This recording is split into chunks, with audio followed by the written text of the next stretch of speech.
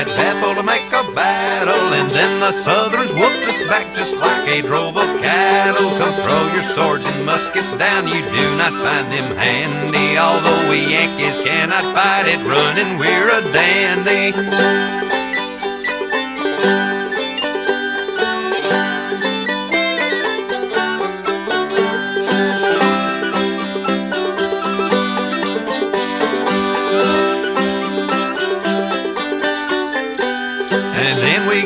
Monster gun which gives us satisfaction for seven miles or just a space we Yankees like in action. Come throw your swords and muskets down, you do not find them handy.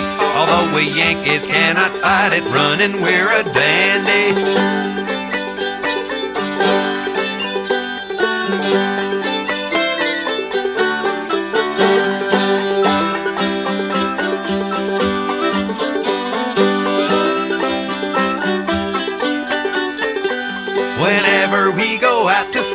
Southrons give us lickings, but then we strive to get revenge by stealing all their chickens. Come throw your swords and muskets down, you do not find them handy. Although we Yankees cannot fight it running, we're a dandy.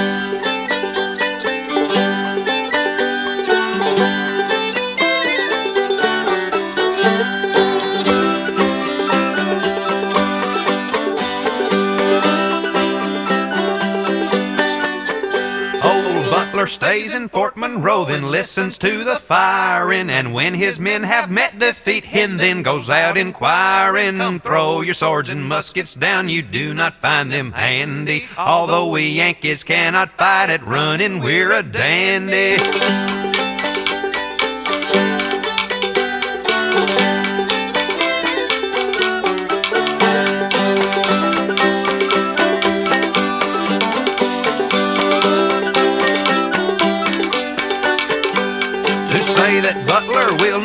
Is certainly no scandal, for not a trophy has he gained except an old pump handle. Come throw your swords and muskets down, you do not find them handy. Although we Yankees cannot fight at running, we're a dandy.